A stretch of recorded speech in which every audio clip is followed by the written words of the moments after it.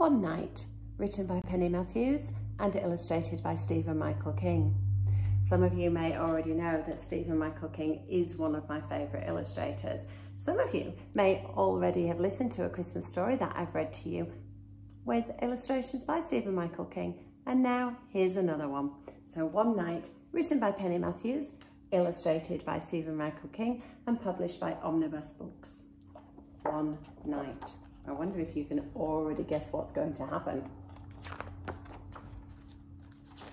One night.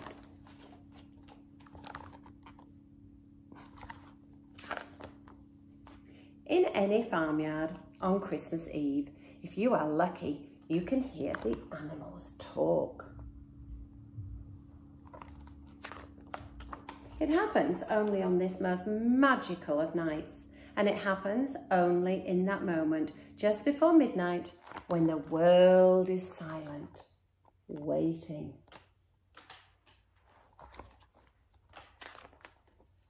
The animals remember another night like this, a night long, long ago. On that night, that perfect silent night, a star hung low in the sky over a stable.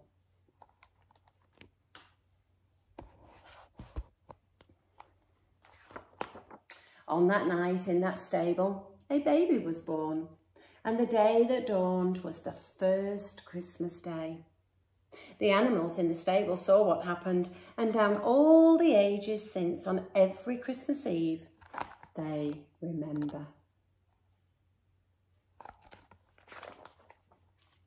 The star sun shone so brightly, says an owl, perched high in the rafters. It shone as bright as day.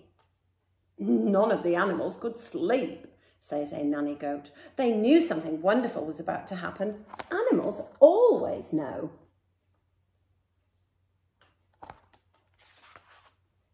A donkey carried the baby's mother to the stable, a shaggy little donkey says proudly. All donkeys still remember that.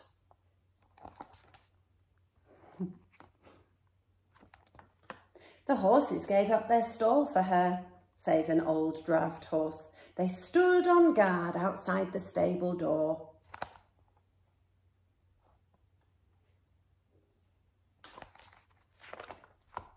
When the baby was born, a dog lay at his feet and adored him, says a sheepdog.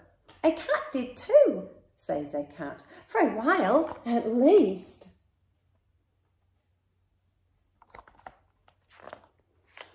Mice helped to make the baby's bed, squeaks a mouse. They chewed the straw and shredded it to make it soft. Geese gave their best feather down for a pillow, adds a big white goose.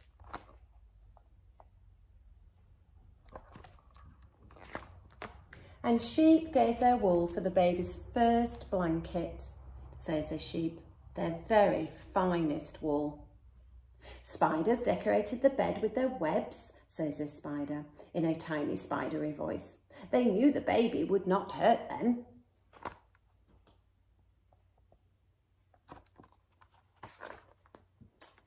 It was cold that night, rumbles an ox, and a pair of oxen warmed the baby with their breath.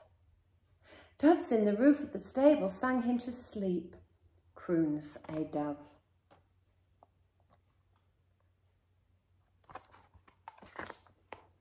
His mother and father were tired and hungry, says a cow, so we cows gave them our milk.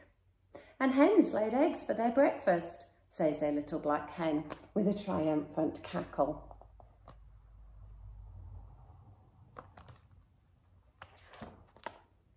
A rooster crowed at sunrise to give news of the birth on that first Christmas morning, says a rooster and we do so still to this day.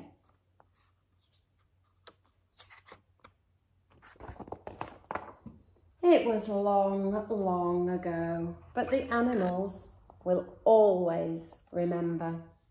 And if you go into a farmyard on Christmas Eve at that magical moment, just before midnight, perhaps you will hear them talking.